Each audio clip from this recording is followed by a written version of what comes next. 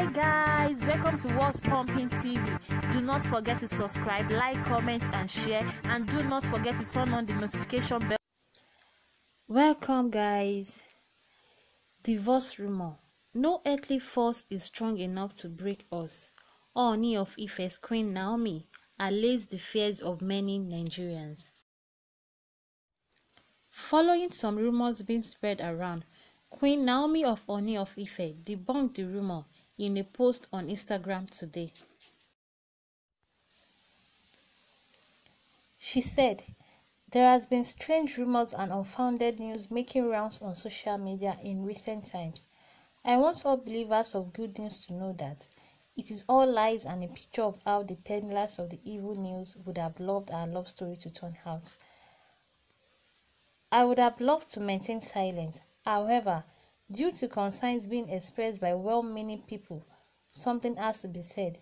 Now, the gospel truth is that I have been busy with ministry of the social media space, and you would all agree with me that with the ongoing pandemic which suddenly sprung up on all of us, only means more work needs to be done.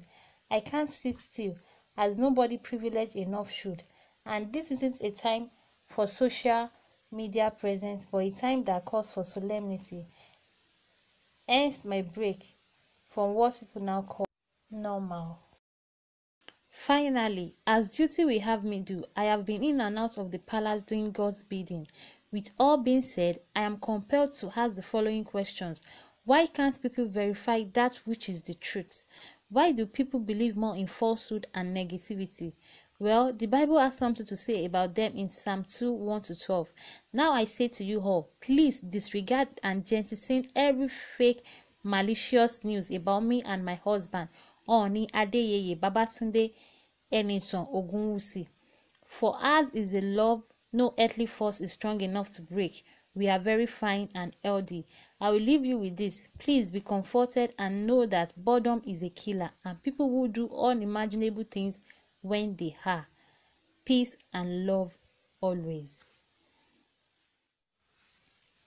However, ex-BBA contestant Tayo Faniran reacts to the post Oni of Ife Queen made to dispel the rumor of their split.